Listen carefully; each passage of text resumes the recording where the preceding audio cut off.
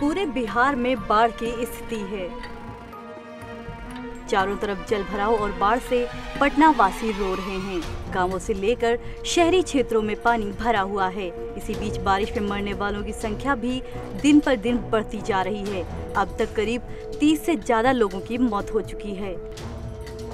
बिहार में बाढ़ और जलभराव की स्थिति पर प्रधानमंत्री नरेंद्र मोदी भी गंभीर हैं। उन्होंने इस बारे में मुख्यमंत्री नीतीश कुमार से बात की है। प्रधानमंत्री ने इसकी जानकारी ट्वीट करके दी है।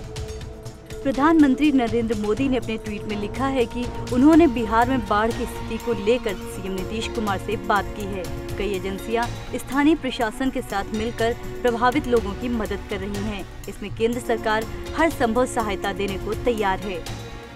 वहीं केंद्रीय मंत्री रविशंकर प्रसाद ने बताया है कि केंद्र सरकार की पहल पर फरक्का बराज के सभी फाटक खोल दिए गए हैं। इससे बिहार में गंगा नदी का जल स्तर घट जाएगा। साथ ही पटना सहित जगह जगह जल निकासी तेज कर दी गई है। पटना में जल जमाव प्रभावित इलाकों में फंसे लोगों को निकाला जा रहा है।